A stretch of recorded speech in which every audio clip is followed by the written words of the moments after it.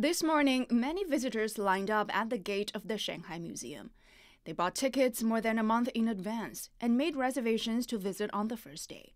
This is the first time that the museum has held a paid exhibition since 2008. Uh, I bought an early bird ticket in December. I'm glad to see an exhibition of this caliber coming back to Shanghai. The exhibition will tour Asia throughout 2023 and 2024.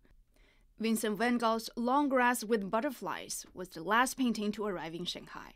The masterpiece required 1 billion yuan in shipping insurance to get it here.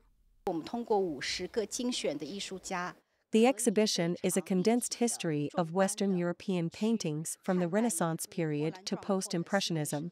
There are just over 50 pieces, including Sandro Botticelli's Three Miracles of St. Zenobius and Rembrandt's self portrait at the age of 63.